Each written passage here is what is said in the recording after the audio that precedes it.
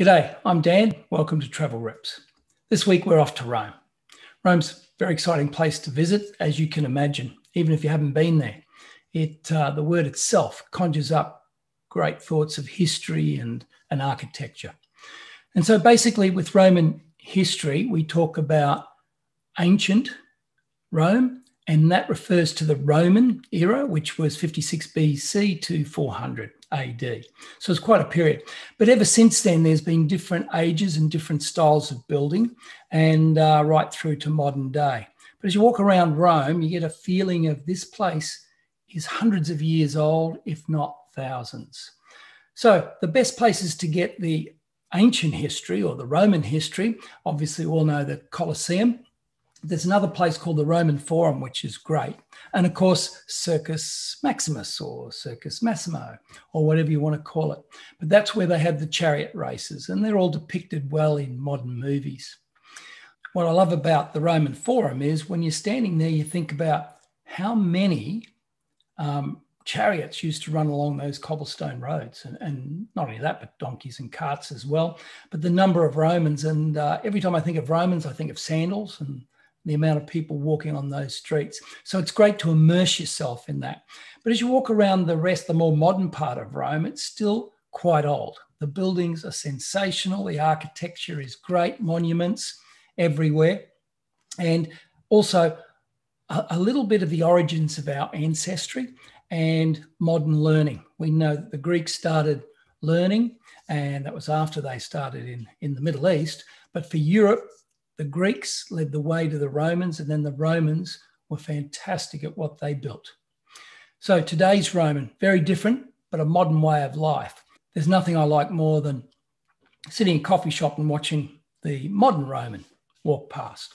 They've got a great lifestyle, and um, basically, they're very colourful and flamboyant people. So that's something that's pretty interesting. This week, we do a basic walk.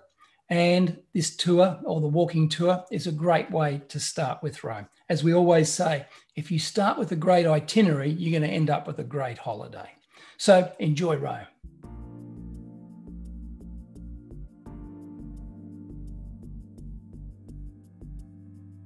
We're going to have a look as we're going to start south at Circus Maximo. We're going to move up to the Colosseum about a five minute walk, easy walk. Then from the Colosseum, another five minutes to the Roman Forum, and then five minutes more around to the Capitol buildings and the Victor Emmanuel II monument. From there, we have the choices of go north to the Trevi Fountain, probably about five minutes walk away, five to seven.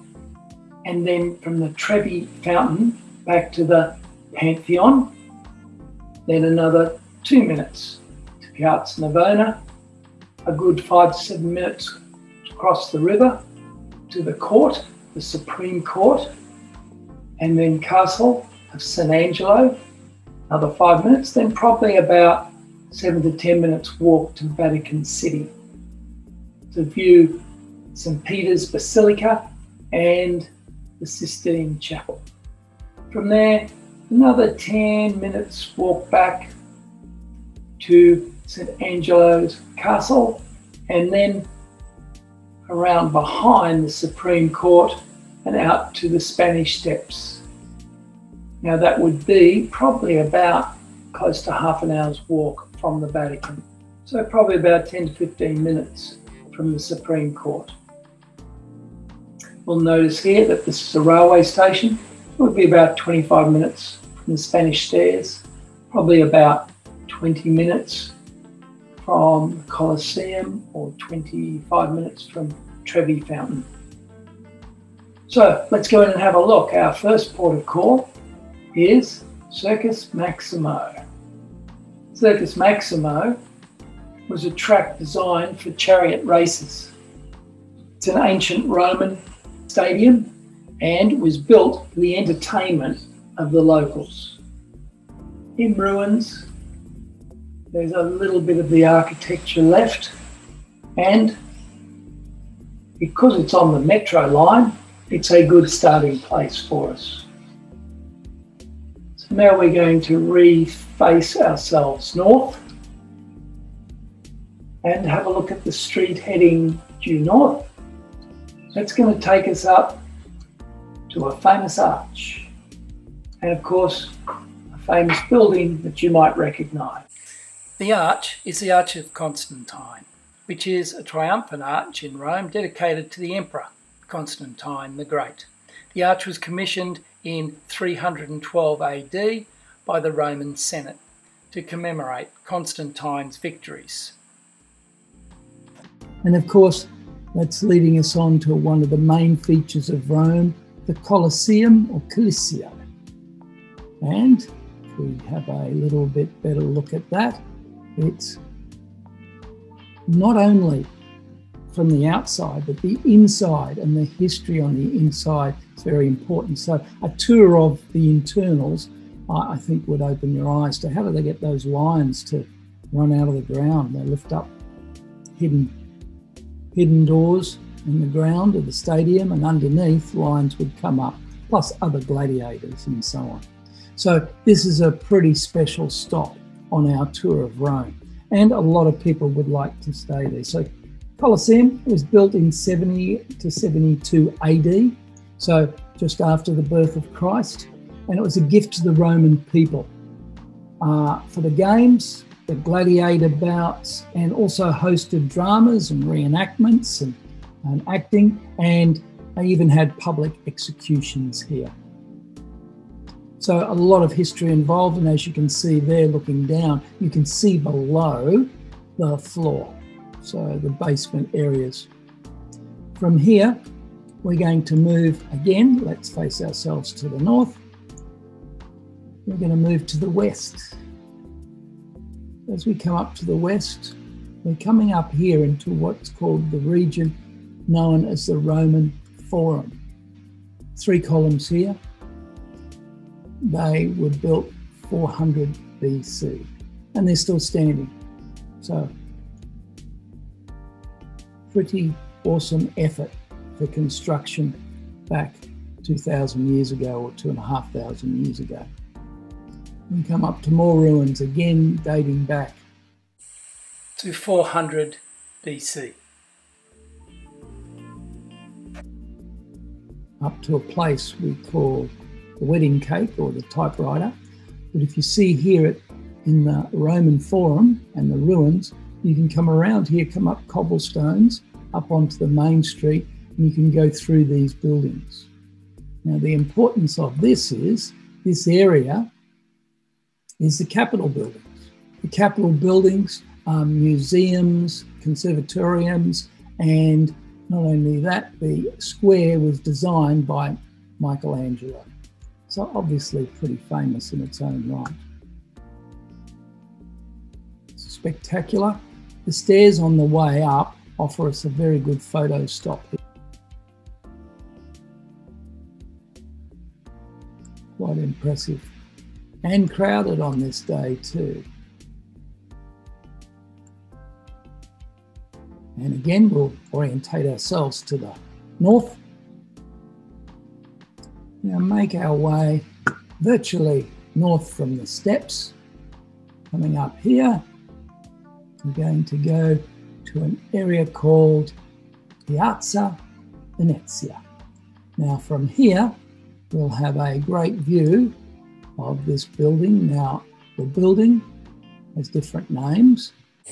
It's called the Altar of the Fatherland. It's also known as the wedding cake, and to the locals, it's often called the typewriter.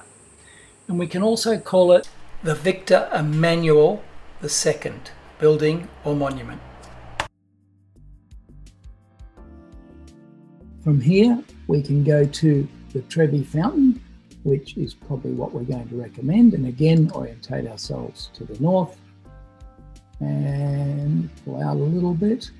So you've got choices.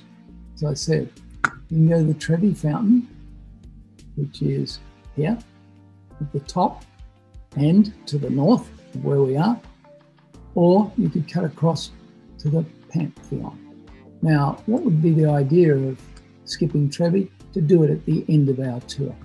But for today's purpose, you can walk, work your way through the streets to the Trevi Fountain, or for those who are travelling by themselves and don't necessarily like back streets, of course, there's a main thoroughfare, so you take a slightly longer way around. The Trevi Fountain, it's one of the oldest water courses or water sources in Rome.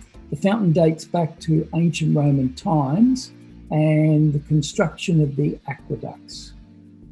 And 19 BC, that provided water to not only the Trevi Fountain, but also the Roman baths. Busy day at Trevi. There it is there. Unfortunately, we haven't got a good view of the fountain, but we can get there. Absolutely stunning.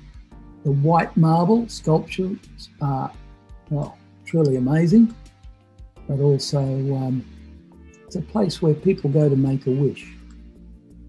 You've probably heard about coins in the Trevi Fountain or coins in the fountain. So when you throw your coins in, you get to make a wish. Rumour has it that each year when they clean out the fountain, they take over a million dollars, which goes to charity. And we're going to make our way west, following the yellow lines, which you can see. And I see because the buildings cover them up. Coming into view now, it's a Pantheon. Again, a fantastic building in its own right. Probably one of the best preserved monuments in ancient Rome. It was built 25 BC built by Marcus Agrippa and said to be a stunning example of pre Christ architecture.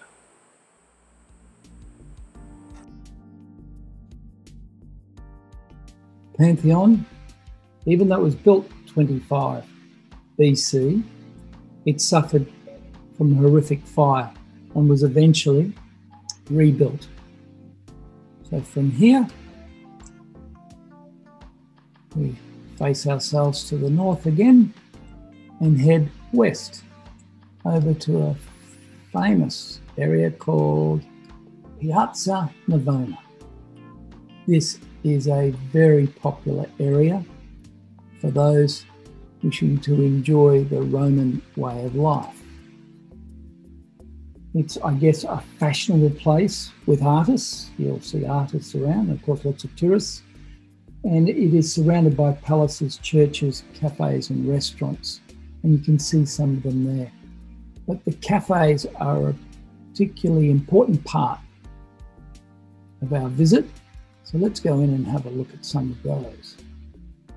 You can see there's lots of eating places, cafes everywhere, outdoor, indoor, artists, and um, lots to see and do in this square.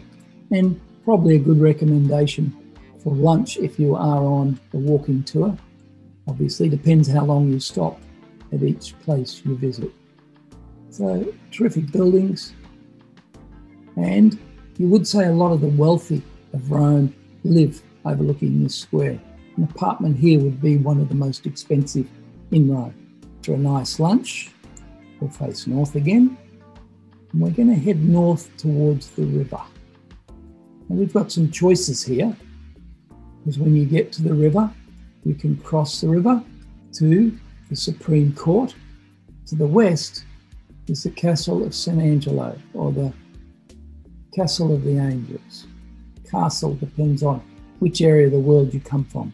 What I like is the Supreme Court is a stunning facade or has a stunning facade.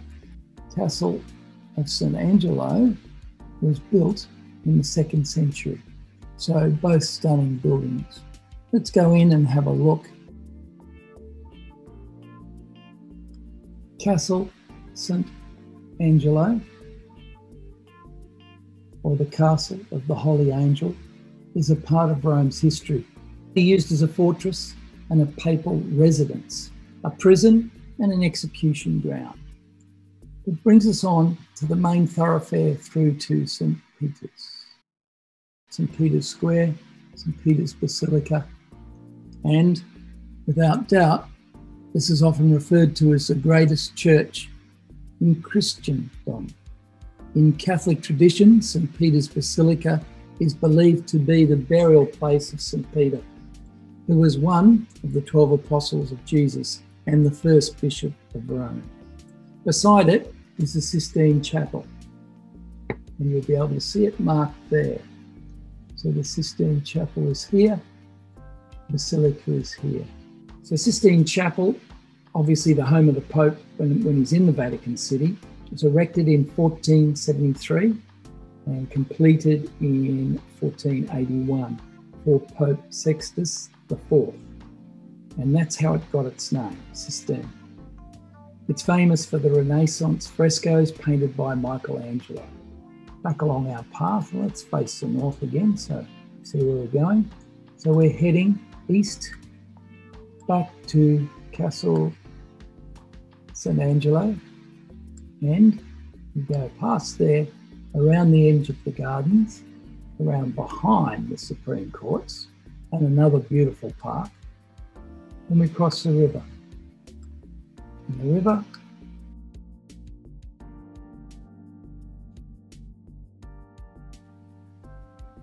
So Spanish Steps. They were built in 1723 and completed in 1725, became a meeting place for artists thanks to their unique design, which the artist found inspiring. The Piazza of Spain at the foot of the steps is named in honour of the Spanish embassy. And as the story has it, the steps were built to link the Spanish embassy to the church. A busy day at the Spanish Steps. You can see the church basilica in the background and the Spanish Step. And can't see a lot of artists today, but they're there with their sketch pads. So that's our walking tour of Rome. And you'll probably note here if we face to the north again, see over to the west of the Spanish Steps. It's a railway station just here, the metro.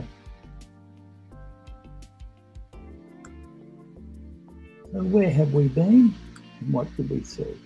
Our tour took us to Circus Maximo. 10 minutes walk up to the Colosseum. Then, although oh, it's only five minutes walk through to the Roman Forum, there is so much to see and do. And Obviously, it can take a bit more. It's only about another five minutes to the wedding cake, and then would be probably about seven to ten minutes through to the Trevi Fountain. Leisurely seven to ten minutes through to the Pantheon, and about two minutes walk through Piazza Navona. From there, it's probably about 15 minutes up to the river, 10 15, and of course, 15 minutes through the Vatican 15 minutes back to Castle San Angelo, and then probably about another 10 minutes walk to the Spanish Steps. Now, that Spanish Steps would be about 25 minutes from the railway station, so that probably gives us a good feel uh, where everything is. Now, there's a lot more to see and do. So that's Rome in a nutshell. There's plenty more to see and do in Rome, obviously. And I can recommend the Basilica Santa Maria Maggiore, Palatine Hill. You spend some time there. You've got the baths, the Roman baths, Basilica of St. John Lateran. You've got the catacombs, which a lot of people love the catacombs. You've got the Appian Way, which is a major road uh, around Rome, and many piazzas and plazas and that with coffee shops and so on. When we talk about coffee shops, the locals tend to go in, stand at the bar, and have a coffee because that's cheaper than sitting down for a coffee and it's cheaper than sitting outside. So the most expensive coffee is to sit outside on the boardwalk or the footpath, watch life go by. But for tourists, it's a great way to have a coffee. Enjoy Rome.